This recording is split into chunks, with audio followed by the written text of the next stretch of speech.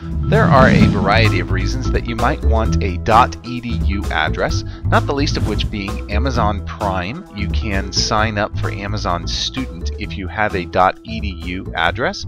And so I'm going to show you today how to get a free .edu web address, email address, so that you can use that for a variety of things, including perhaps Amazon Prime. The reason to do that is that it's free for six months, and then you get all of these other benefits 50% off and then all of the benefits of Amazon Prime. But there's a lot of other reasons you might want a .edu address. Go ahead and go to californiacolleges.edu, californiacolleges.edu.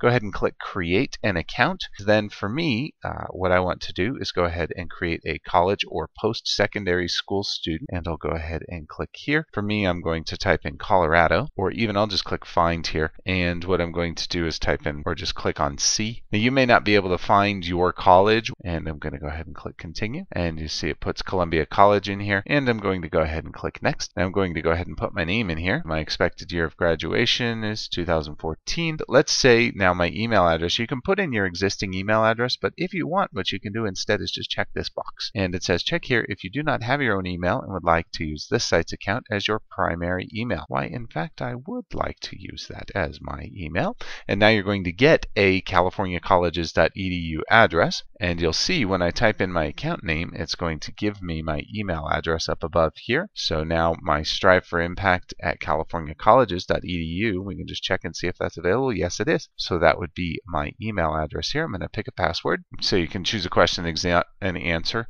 Uh, you could choose something like pet's name, anything like that that you're going to be able to remember. Then it's going to ask for your address, but these are all optional. You do have to select your gender here. So I'll go male and I'll just say not Hispanic or Latino. Then there is one more box here. How did you hear about this site? I actually did hear about it from a friend. I have read and agreed to the privacy policy in terms of this site. You'll want to, of course, read those, but I'll go ahead and click create your account. And now I have an account, Strive for Impact, at californiacolleges.edu, and I can go ahead and log in, and now I have a .edu address.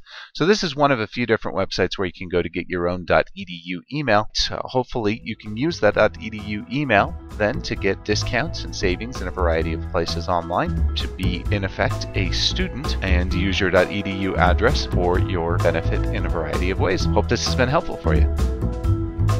If you liked this video, please be sure to give it a thumbs up below be sure to subscribe as we have more helpful videos almost every single day. If you have any questions that we can answer for you, please be sure to come and visit us at showmehowtodothis.com.